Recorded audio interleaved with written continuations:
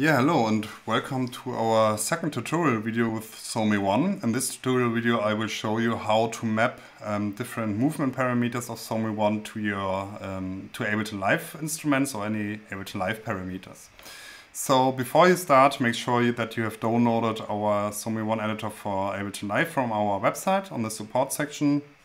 And here's a, a, simple example project. So what I am having here is, this is just for recording my voice. You can ignore that track. This is a simple instrument here from the from the Ableton Live uh, presets. And here's a simple MIDI clip, which is just a long C. And um, yeah, here's an empty MIDI track. Here's a track where, which is just used to visualize some parameters, which you see later. Okay, so this MIDI track is uh, just created newly. So this is a plain plain MIDI track in Ableton Live. Here I have my SOMI 1 editor for live. I will add this to the MIDI track. And now we can see that the phone SOMI 1 thingy here or LED is still uh, uh, um, gray. So it means we don't have an active connection to the hub yet. And uh, maybe you remember in the last tutorial videos that also it was the same that this was gray. And this was because we had some preset uh, settings here um, for the yeah, for the SOMI Live editor settings, and to transmit them, the monitor has to be on auto. And if you want to establish a connection now, um, you have firstly to select the SOMI one as input, as an input, and for the output the same, you select SOMI one. And now, as soon as I will hit the monitor to input, which was not in the last, uh, like which is not in the in the last preset project, um, the SOMI 1 editor will recognize the hub. So I clicked it, you see the phone SOMI 1 LED goes yellow, the, and all the settings were updated here according to the current settings which are the, uh, saved on the hub. And you see the two sensors are connected, so both sensors still have 100% battery, uh, battery level. Um, if a sensor connection would uh, get lost, uh, or, or if a sensor loses connection to the hub, you will see a dash like this again. Okay, so um, these are now the very, very um, plain settings and I will start with the control change. And um, you probably know control change is uh, used to, to uh, control parameters like with a knob, similar to the knob. So firstly, here I select the sensor I want to, um, to configure. In this case, I leave it at sensor 1.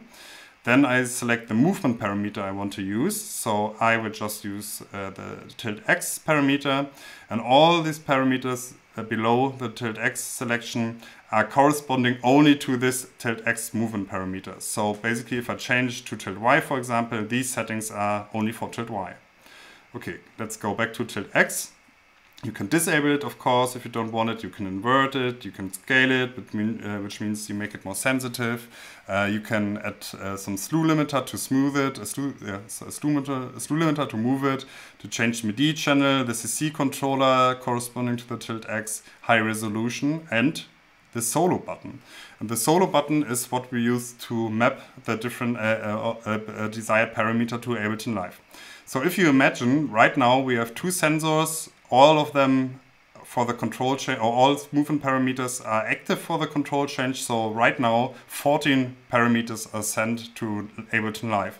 If you want to use the MIDI learn functionality, Ableton Live, does, of course, doesn't know which one you want to map. So this is where the solo button comes in. So depending on which sensor I have selected and the movement parameter, when I'm clicking the solo button, only this control change parameter will send will be sent from the hub to live, nothing else. So this is only for, for doing a mapping. So when I'm soloing it now, you see on the SOMI 1 up here that the LED also turned yellow, meaning it's uh, soloed, so specific parameter soloed. And let's say I want to map the solo, uh, the tilt X um, uh, parameter to the filter cutoff. Actually, it's already done, but um, let me just delete the old mappings to, to show it to you better, how it's actually done. So you can see now nothing is mapped here. And I have selected the tilt X. And um, so it's important if you, for example, keep the mouse uh, or you have something selected here in the session view or in the arrangement view and you enable the MIDI learn because data is still re continuously received, you uh, get uh, a mapping what you probably don't want. So I would recommend just click here on the right side so nothing is selected or directly on the parameter so you want to map. Now let's enable the MIDI learn functionality in Ableton Live. Click on the MIDI track, on the parameter, I mean, what you want to uh, select, and you see channel 1 controller 16 was mapped to the filter cutoff. I will leave the MIDI editor screen now, and here you can also see I have also the CC controller 16 corresponds to tilt X. So I will unsolo it again, everything is sent again, and I will just start the sound here. And here's the filter cutoff on a very low level, and I'm going up.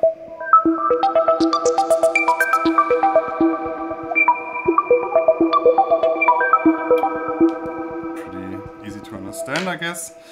So let's say I want to map another parameter to the filter resonance of the same sound. So let's say I want to map the tilt Y.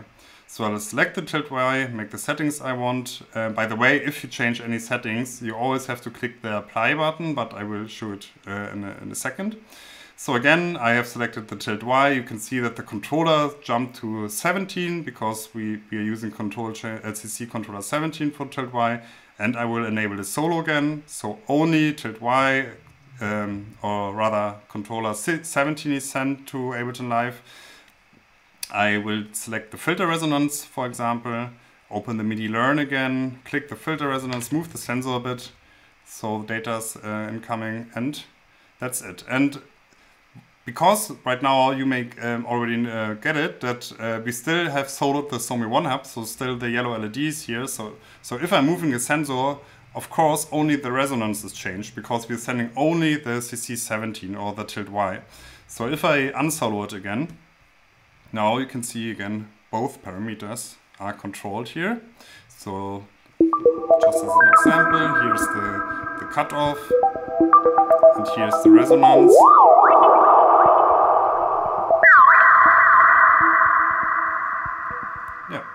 That's it, pretty, pretty easy. Okay, let's continue with the note section here. For the note section, you actually, in comparison to, to control change, you have two different parameters, movement parameters as input, because basically you want to know when a note should be pressed or not pressed, and you want to control the pitch of the note. So for the note, uh, to select if a note is pressed or not, this is the movement gate parameter. In this case right now it's set to activity, it's enabled and the threshold is set to 0.5 and the threshold means every, if, the, if the incoming uh, value here of this movement parameter is above, uh, above this threshold um, then it, it corresponds to be a note on, so the note is pressed and if it's below the threshold it's corresponding to the note is not pressed. So let's keep this as it is. And as I said, if you want to change something, you always have to click apply. So just if you, for example, want to make it very sensitive, you would hit, for example, 0, uh, 0 0.3 and you click apply and you also see how this uh, LED turns green on the hub. So, but I leave it at the normal state. So this is again um, 0.5. Then the second uh, parameter is to, as I said, to, to select the pitch of the note. So again, I can choose a different uh, any any input parameter, and this time, uh, this case, I'm I'm selecting the tilt Z, which means uh, which means the the direction of the sensor, or like a compass axis. So basically, now when depending on where I'm pointing at, I'm changing the pitch of the note, and I've selected a note output range from C1 to C3. You can invert. Um, both parameters, the gate and the pitch, and here you can set the MIDI channel. So by default, uh, each sensor of SOMI 1 sends on its own MIDI channel. So sensor 1, everything from sensor 1 is on MIDI channel 1, every, everything from sensor 2 on uh, channel 2, etc. And uh, but still, you can change this. For example, if you use SOMI 1 in combination with hardware, this is this is required. Okay, so now as I said, everything above the threshold uh, is a note on An activity is just the acceleration. So I will select for MIDI input for the instrument again the SOMI 1. I select channel 1 and make it here the monitor to input. And now if I'm shaking the sensor, a note is pressed, but only very, very shortly. In this case, usually uh, this instrument is more you want to hold a note. So I would instead use a tilt angle for that. So because then you can hold a note as long as you want. I will select uh, the tilt X. I'm clicking on apply. Now you already heard it that it started. So if as soon as I'm crossing the horizontal line, here the note starts. If I'm turning a bit to the right, the pitch change gets higher. I'm around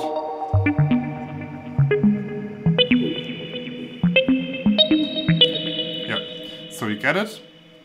And uh, yeah, this is how you how you play notes uh, with uh, sensors, how to set it up.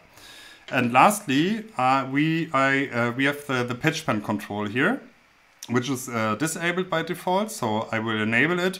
And for pitch bend, I'm usually prefer to use acceleration because acceleration, similar to a pitch bend wheel, which has a normal position in the middle, the acceleration value is uh, for pitch bend also in the middle. If you uh, if there's no movement, if you're going to the right, the value increases. If you go to the left, left the value decreases.